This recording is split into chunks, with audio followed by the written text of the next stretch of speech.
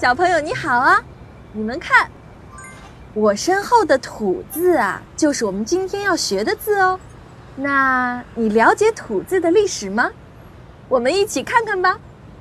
哎，这条路也太难走了，到处都是土块。哎呀，它又被土块绊了一下。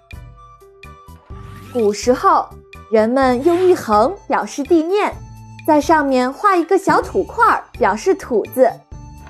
后来，土字经过甲骨文、金文、小篆、隶书、楷书等变化之后，就成了现在的土字。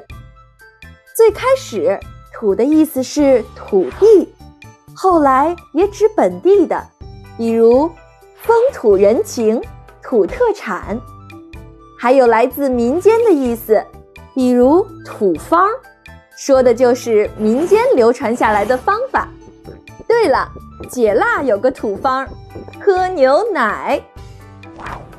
古字可以组成的词语有土地和土豆哦。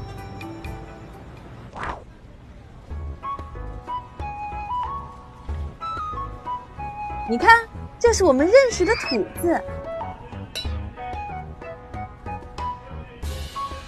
你看，这里也有土字哦。土地、土豆都是由土组成的词语，你记住了吗？快来试试吧。